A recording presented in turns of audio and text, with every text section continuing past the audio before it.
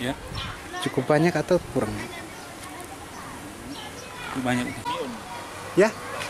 Saminu. bubuk ini dari sini baru dibawa ke sana. Ah.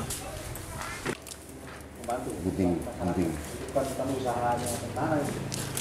Hanya ada seperti ini, peluang, ada seperti ini, nanti langsung langsung. Hmm. Jadi eh, pemberdayaan bukan bukan usaha.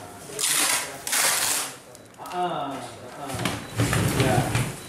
Orang itu hanya dia dia hanya alih teknologi, hanya alih teknologi me- me- memberikan eh, Iya. iya. Nanti kalau sudah banyak banyak dari dalam, dari luar, Korea, Cina, Taiwan. Ada. eh, kita kerjasama dengan operasi Korem. Nanti hasilkan. Nah, tapi kalau sudah lima ton per bulan, ya kita baru. Ya. Ini kan hanya perempuan Ya, hukum, ada mesin ojol.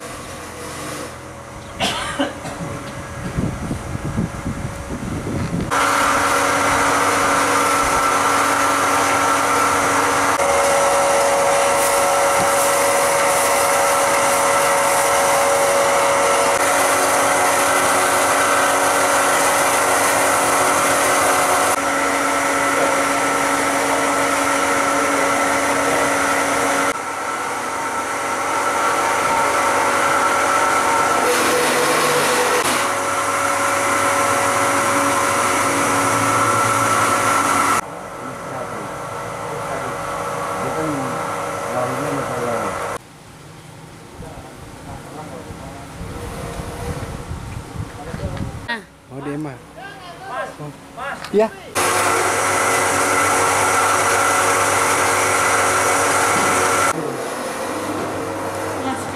Pakai masker.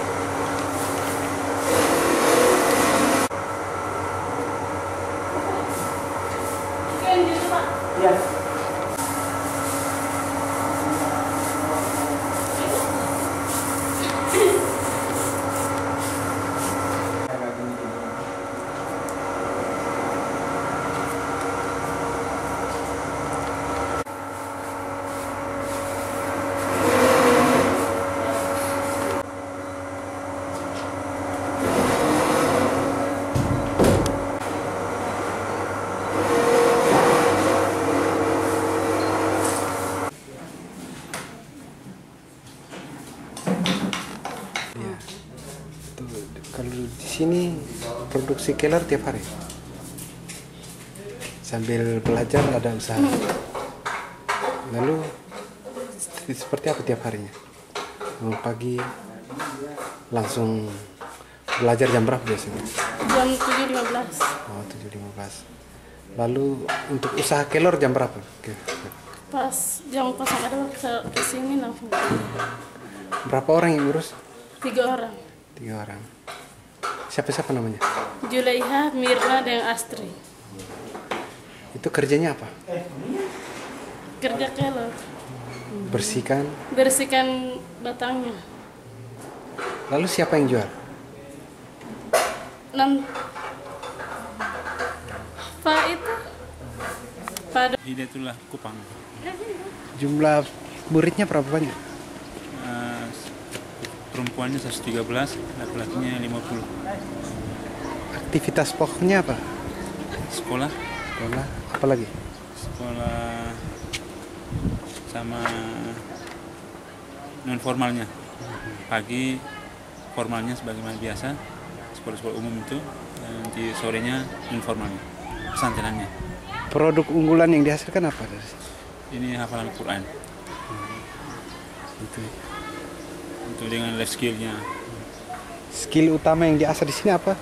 menjahit, menjahit dengan kebunan. Perkebunan. Komoditi apa yang unggul di Ya. perkebunan? Komoditi apa yang paling unggul? itu masih sayur sayur sayuran yang dimakan sama pisang Dengan total murid berapa tadi?